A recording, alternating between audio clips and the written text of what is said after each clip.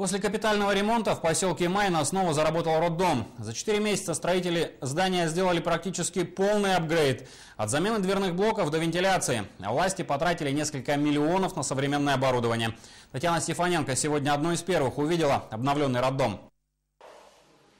Уже сегодня в обновленном роддоме приняли первые и пока единственные роды. Молодая мама из Черемушек уже успела оценить разницу. Первого малыша она рожала в этом же отделении. Условия очень прекрасные. Палаты все светлые, теплые, как бы новое оборудование.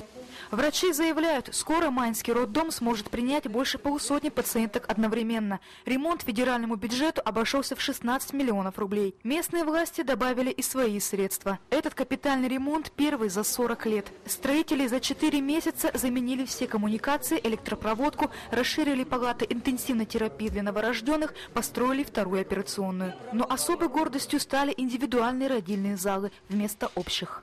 В обновленном Майнском роддоме всего шесть индивидуальных родильных залов. Это как раз один из них. Раньше женщины дожидались своего часа в предродовой комнате. Сейчас все происходит здесь. И еще одно новшество. За родами может наблюдать кто-то из близких. Муж или мама или подруга. Врачи называют это партнерскими родами и говорят, что увидеть таинство рождения малыша желающие уже есть.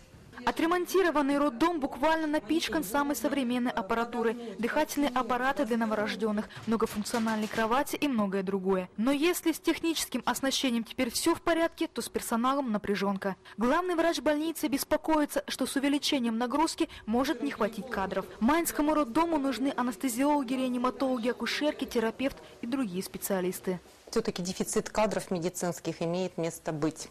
Нам, конечно, не хватает врачебного персонала. И если, конечно, исполнять э, приказ 808 по акушерству и гинекологии, то данный приказ требует резкого увеличения штатов.